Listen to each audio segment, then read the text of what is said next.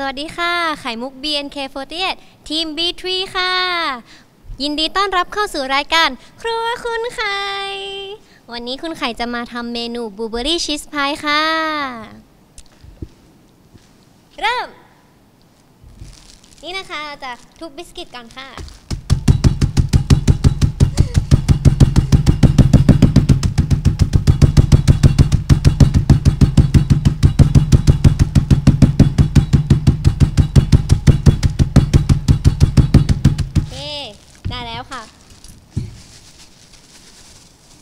กี่ปีแล้วอะ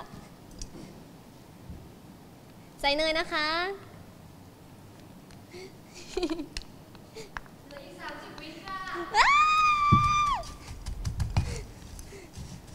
คนให้เข้ากันนะคะเยอะใส่ถ้วยค่ะ ใส่ถ้วยค่ะโอเค ส่ครีมชีสค่ะ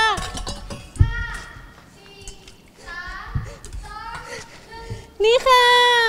เสร็จแล้วค่ะบลูเบอรี่ชีสพายของเรา นี่ กินให้ดูค่ะ